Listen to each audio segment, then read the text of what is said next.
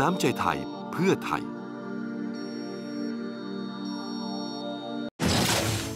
ร้าน Tattoos by Life Tattoo Owner ร้านสักที่ตั้งอยู่ที่อำเภอเมือง จังหวัดเชียงใหม่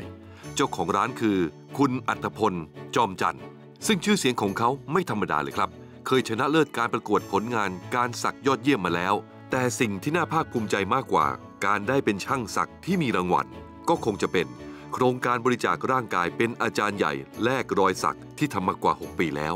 ครับจุดเริ่มต้นมันอยู่ที่การที่ไปเฝ้าแม่ที่โรงพยาบาลครับแล้วก็เห็นผู้ป่วย จากการเฝ้าแม่เนี่ยเขาเห็นคนตายบ่อยครั้งมากข้างเตียงของแม่หรือว่าอย่างนี้ครับเกิดคำถามว่าห้อยซักเนี่ย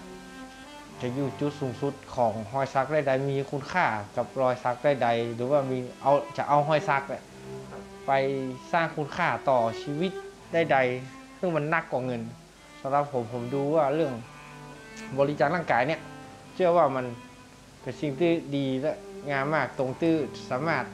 รณรงค์เพื่อคนเอาเลยซักเนี่ยก็เอาไปเป็นตัวกลางเพื่อแลกกับคนที่สนใจ ที่จะบริจาคร่างกายเพื่อมาแลกกับรอยกับรอยซักของเราละตอนแรกก็รู้สึกกลัวครับ แต่ว่าได้บริจาค จริงๆ แล้วมันไม่ได้มีอะไรที่น่ากลัวอย่างที่คิดครับ รู้สึกดีด้วยซ้ำครับ เพื่ออที่จะได้พัฒนาการแพทย์ให้ไปก้าวไกล เพื่อจะได้ต่อยอดชีวิตคนอีกหลาย ๆ คนนะครับ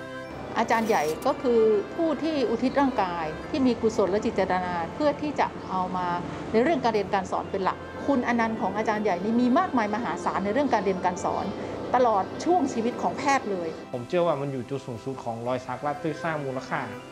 ซึ่งเงินร้อยล้านก็ซื้อมาได้ แต่สามารถไปยื้อชีวิตของคนที่คุณหัก มีคุณค่านักกว่าเงินทองเป็นร้อยล้านที่จะซื้อชีวิตกลับมาได้